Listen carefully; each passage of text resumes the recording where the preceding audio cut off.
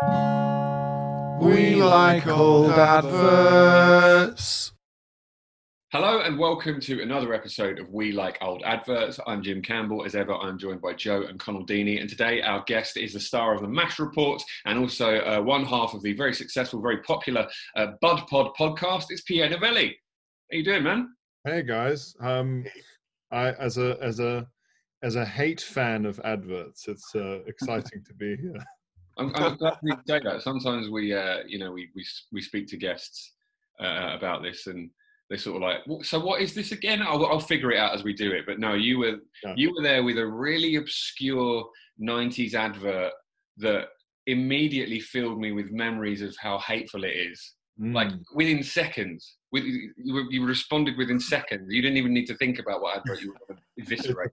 it's a powerful advert. Uh, I, I I I lost touch with the advert for many years, and then I was in the pub with a with my friend Johnny, who does stand up as well, and years ago, and I, we were just talking about adverts or like how when you were a kid or when you were younger, like why do they constantly advertise mortgages and things on children's television, like daytime television?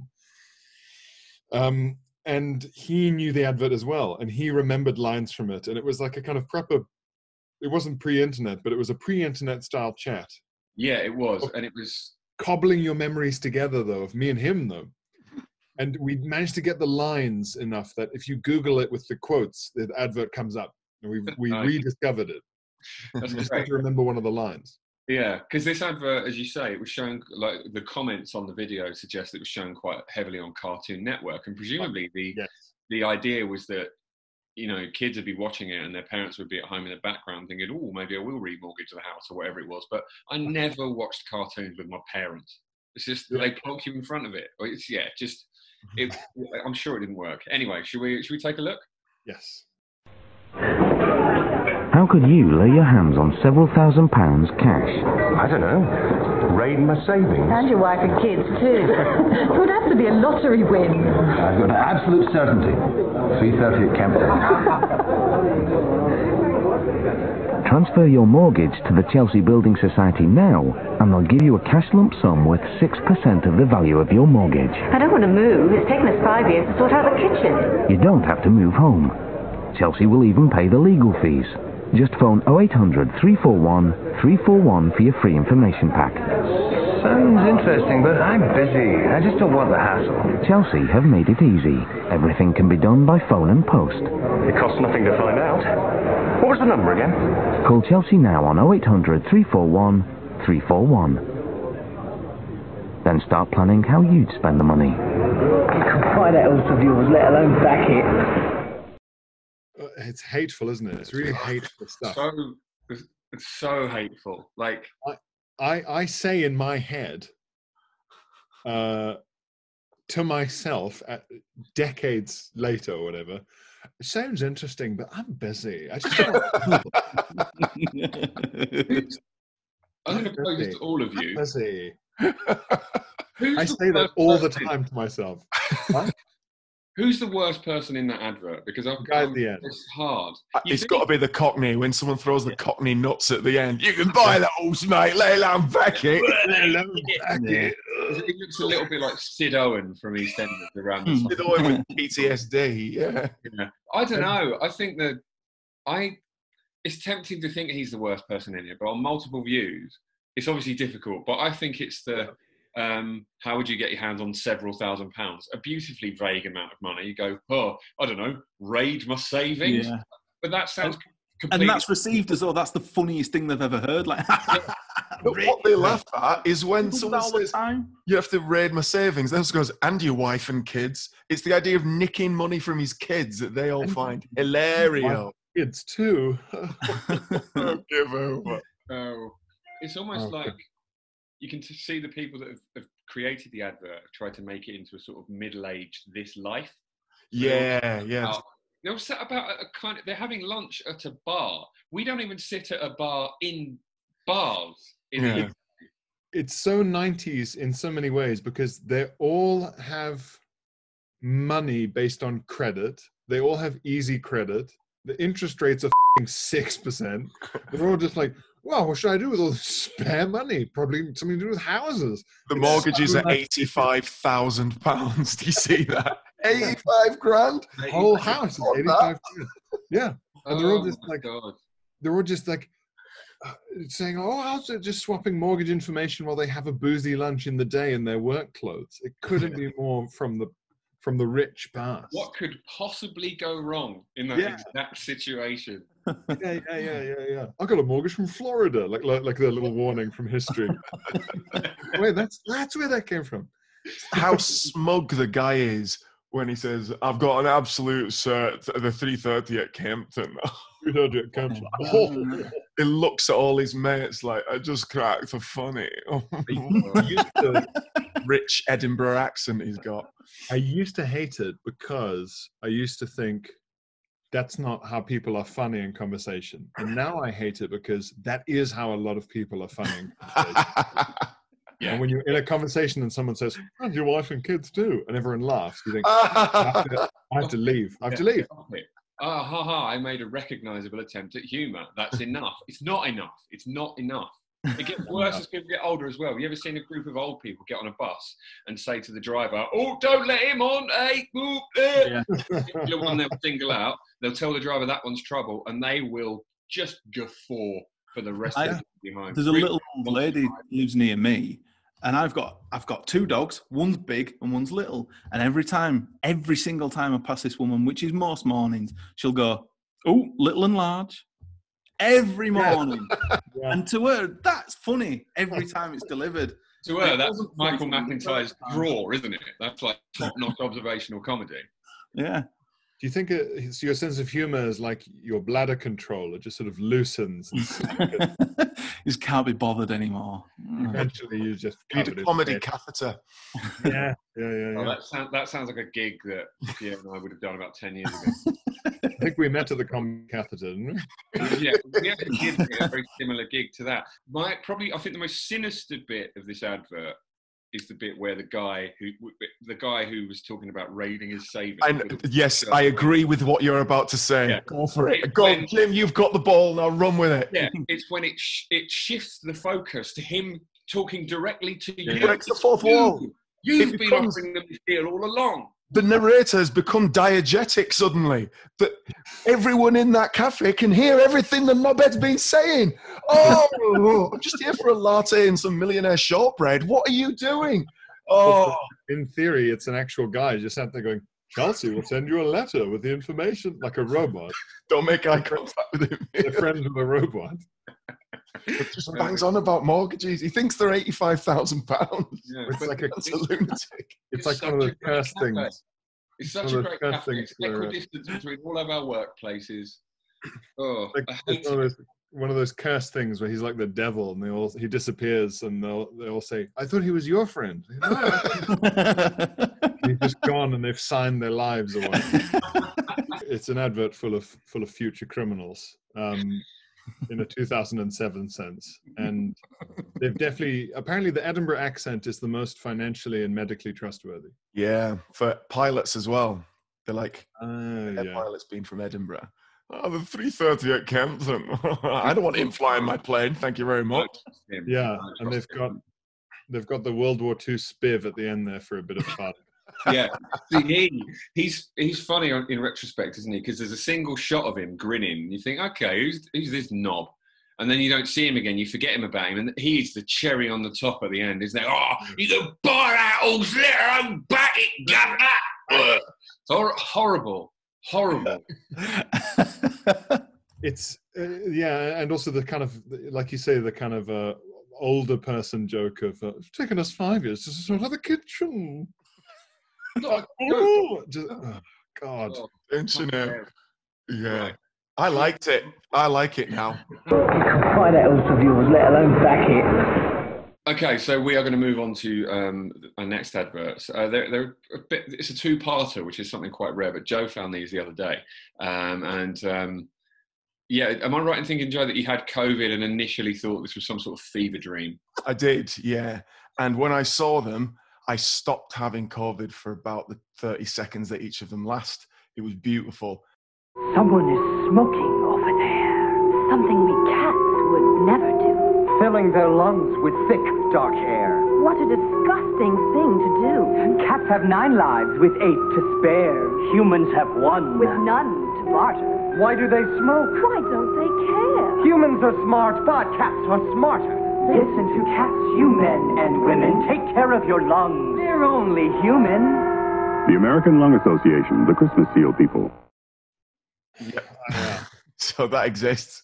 It's horrifying, isn't it? Rhyming couplets on that was strange. I, Yeah. started smoking during it. I think I just I to I die faster to get rid of this experience that was happening to me. I think that's more likely to put people off of cats than it is of smoking. the musical, especially. Have you seen that? I hate that. What an evening I was dragged to that miserable. Not. It's just some cats. It's Yeah. just some cats. There's no storyline. There's no character development. It's just a load of failed actors prancing about, pretending to be a cat. It is. Yeah, but the makeup cat. What does that mean? We're not going to tell you what Jellicle means. You just got to mm. know. Do None of you them people smoke pretend that makeup is impressive. Like, oh, the makeup's good, though, isn't it? Yeah, but the acting's cack. And so all the dancing and boring bits. Like, when can I go? When can I have a little beer? Maybe it's not for you guys. Yeah. Oh, yeah. it's not.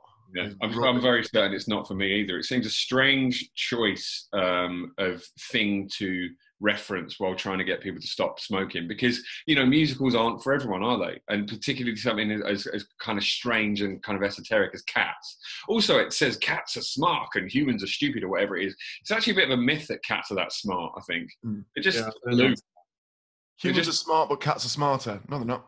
No. Yeah. No, Maybe but 100% not. Yeah, yeah. Do you think Andrew Lloyd Webber got paid for that? Because it is a, it's like a local ad, isn't it? I- But it, it, there, mu- it must have been. I mean, you can't get away with that, can you? Surely not. I don't think you dare as well, because though he may be slight in stature, he's a terrifying man. He is. It just shows you how big Cats was in the 80s that it seemed like, oh, people will like this. Yeah, it's like if they did a Hamilton one now. Yeah, yeah, exactly. Yeah, yeah, yeah. Hamilton's nowhere near as embarrassing as fully grown adults going. No, I, I, I don't know. Hip hop musical. Yeah, we've all been waiting for it. But it's Cats, like, that's uh, not hip hop. That's terrible. And when people say about cats, it's actually a poem by T.S. Eliot. Yeah, but it's not the wasteland, is it? It's some rubbish nonsense kids poems that he did about cats. I hate cats so much. it's coming across me. It is. It's really digging up some stuff. That was the worst date night I've ever been on. I don't know why the people who run the American Lung Association. Do you think they just went on a day trip to see cats and they all just agreed on the bus home? Yeah, Yeah, That that's the next brilliant. advert. That's the next advert. Yeah, they always think people like that sort of thing, don't they? That was that was brilliant, wasn't it? We should ah reach people with what's popular in in the way that only boring medical people can think. yeah. A, a Pokemon would never do heroin. That kind of oh, is that a, like as as an actor as well, getting a part in that advert? Is that a good gig or is it really embarrassing? Because you're sort of in Cats, but you're you're not. I think these are the cast from Cats. Oh, really? I, I believe, Oh. yeah. oh, I thought that you were going to say that you're more in an ashtray than you are in cats in that advert. They are. Which is, a cat isn't that small. You know, yeah, if it was mice, then I'd understand the size of the ashtray. Yeah, good point. I Yeah. guess Cats really have an opinion on smoking. I don't think they care really. It's like, if a cat could smoke, it would. They're stupid. yeah, Yeah, yeah. It's they're, they're Yeah. aloof enough, aren't they? what I'm always amazed by, you watch these YouTube videos based off like a VHS tape of, of what television used to look like and like the resolution levels of a tube TV, Mm. cathode ray Mm. television. And I just sort of try and think like during the whole 80s, did everyone watch TV? Just what the f- is that? What? Did. Because, you know, you, your parents would say to you, don't sit so close to the TV, you get square eyes. It's what, well, I've got to. It's just blurry otherwise. It, it all it all looks like like Monet paintings, like Yeah. blobs and you through, through like a Monet a Monet painting behind a steamed up shower door. You know, yeah. And you just go, what the fuck? They said don't sit too close because then you wouldn't be able to see what, what was going on. That was the real Yeah. reason. It's only at a distance that you could go, "Ah, it's a, a man is talking. yeah. How did you know it, what channel you were even on?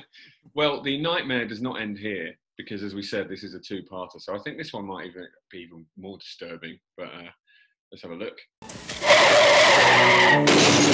An accident! An accident! Accident! The humans had an accident! There was a child in the car. A child! A child? A child? Cats have nine lives, children only one. Help them live that life. Buckle them into a car seat. No one wants a child to become a memory. Memory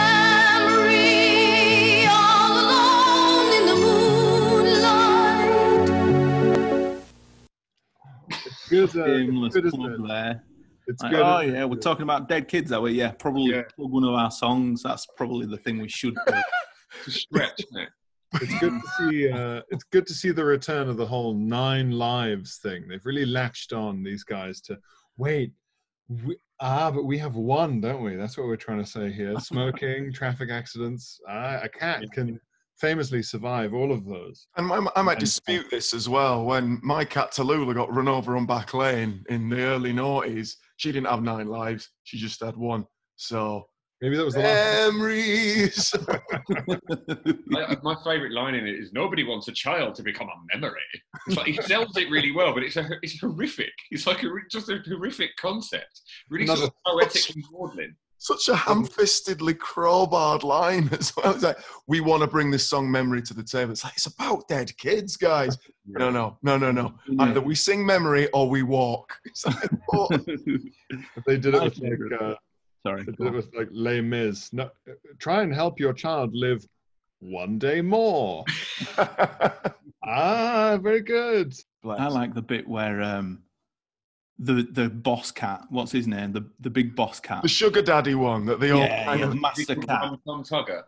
Yeah, Oh, he- They've all got really sexy. annoying names, haven't they? he, Yeah. he goes like he's looking off into the distance and goes, "There was a child in the car," and they all the cast are like individually, "A child, a child, a child, A child! A child? A child? yes, a f***ing child." That is that is Listen. really really good. There's really good um, sort of uh, the audience are quite far away stage acting, isn't it? Yeah. Like, yeah. that- like the ability to move your neck like a child, like, like a sperm, moving how a sperm moves. They're all It's hanging really out. horrible. They're all hanging out in the tire, so presumably they're hanging out like in the wreckage of this crap. in the accident. oh, oh, you know what? There was a kid in there. That's oh, tasteless. that's a shame. Presumably, the, the the car crash is what's interrupted them all banging and fighting. I mean, these are feral animals. They are, yeah. I want to see them do like the only public information ad in the 80s and 90s that they needed to use these guys for is feline AIDS. Yeah. That is the, that is the one new issue that they would have been perfect for. I've got AIDS. They could have done a whole AIDS, AIDS. actually with AIDS. They could have done a whole. Nobody wants a shag to become a memory.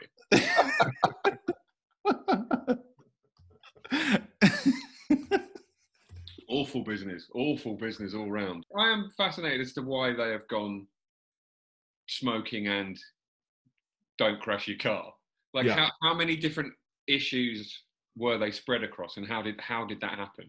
And there's loads of there's loads of issues in the US like like what was it Jeopardy or whatever where every episode used to end with the host saying spay and neuter your pets. Like it was a huge public information campaign. Yeah, yeah, because there was like eh, like no one controlled the the breeding of, of, of domesticated animals in the US for ages. And that's why I was like, well, thank you for tuning in, everybody. And remember, spay and neuter your pets. Like that's like it was parodied endlessly. Bob Barker reminding you, help control the pet population. Have your pet spayed or neutered. but uh, so they had like that loads of other issues and they've gone no we're going to go for two relatively niche human even recycling makes more sense because they live in an alleyway Yeah, well, and also, I mean, spaying and neutering your pets makes all the sense in the world because this is a you know a terrifying vision of what might happen if you don't.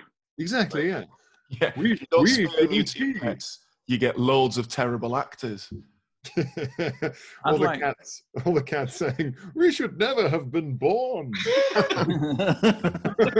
Oh, please, we're against God. Please remove my balls. Paul? I'd like to see their take on not walking across train tracks. That that advert would be quite good, I think. I'd like to see their take on not having a piss behind the telly, like actual cats' problems. Yeah. Yeah, Yeah. that stinks. Like, what have you done that for?